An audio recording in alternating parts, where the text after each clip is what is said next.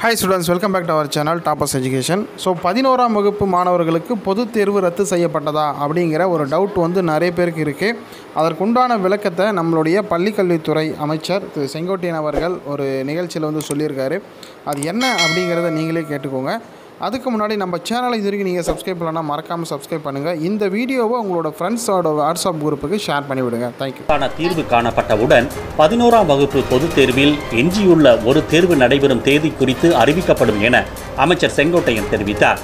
ஈரோடு மாவட்டம் கோபிச்செட்டிப்பாளையத்தில் தூய்மை பணியாளர்கள் நகராட்சி வருவாய்த்துறை அலுவலர்களுக்கு சத்து மாத்திரைகள் வழங்கிய அவர் நீட் தேர்வுக்கான ஆன்லைன் பயிற்சி இன்று முதல் வழங்கப்படும் என்றார்.